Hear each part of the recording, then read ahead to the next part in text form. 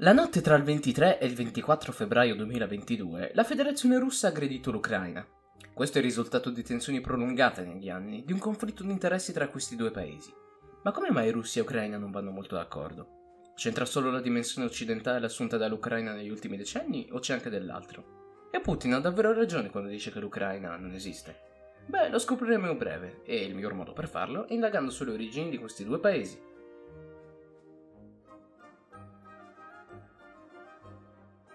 Il bassopiano sarmatico è un'area popolata dall'uomo sin dal Neolitico, vista la completa assenza di barriere naturali e una grandissima presenza di fiumi. Vari popoli hanno abitato queste vaste pianure, fra unglofinnici, turchici, baltici e varie popolazioni nomadi. Gli slavi, cioè gli odierni padroni di queste terre, sarebbero penetrati dalla Polonia soltanto nel VII secolo, assimilando le altre popolazioni. La struttura politica degli slavi era di tipo tribale, ma questo cambiò quando arrivarono i Rus, una popolazione di origine scandinava, nei territori della Russia europea, i quali rivoluzionarono l'ordinamento giuridico degli slavi, venendo però assimilati e rinunciando alla loro cultura norrena.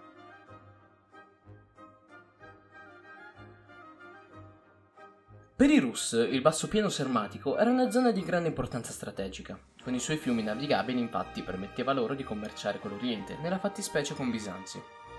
Lungo uno di questi fiumi, il Dnepr, venne fondato un avamposto, Kiev, che sarebbe diventata poi la città di origine di quelle che oggi sono le culture di Russia, Bielorussia e Ucraina.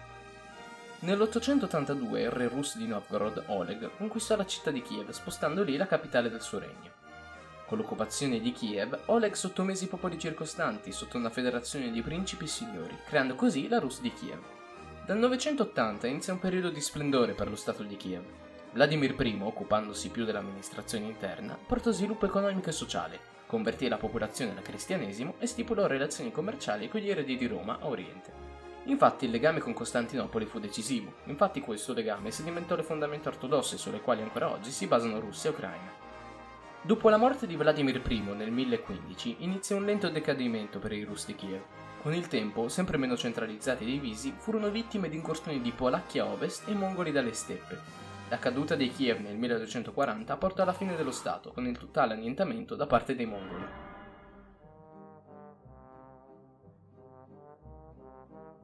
Russia, Ucraina e Bielorussia furono le più grandi vittime dell'espansionismo mongolo, con i principati ridotti a vassalli e tributari dell'Orda d'Oro. Il Ducato di Moscovia, tuttavia, fondato nel 1263, godeva di una situazione ben diversa.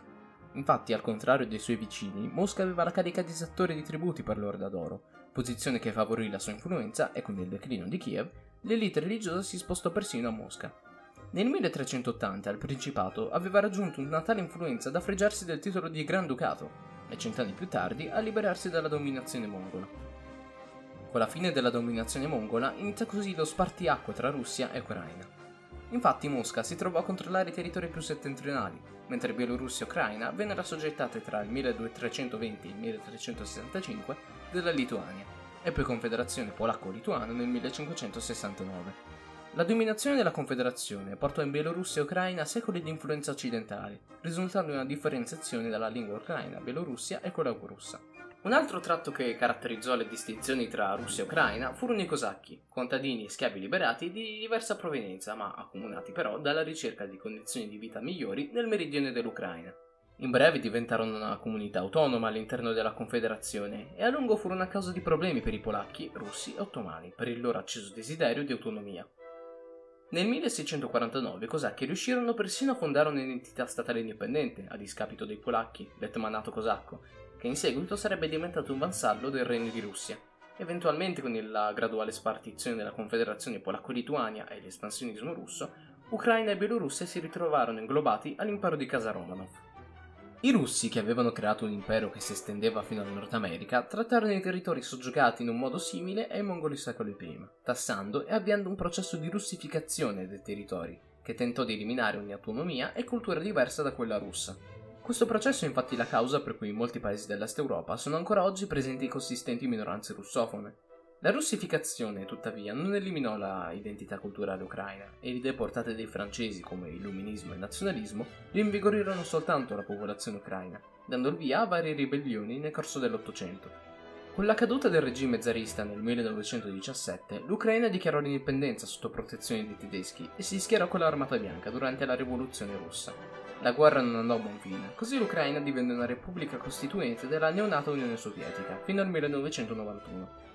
Sotto l'URSS l'Ucraina subì gravissimi colpi. L'Holodomor, una riforma dei terreni portata avanti da Stalin, portò alla morte di milioni di contadini in Ucraina. Ma nonostante questo e ulteriori processi di russificazione, l'identità ucraina rimase intatta. Nel 1991 la popolazione della Repubblica Sovietica Socialista Ucraina votò a maggioranza per l'indipendenza, creando così la moderna Repubblica di Ucraina.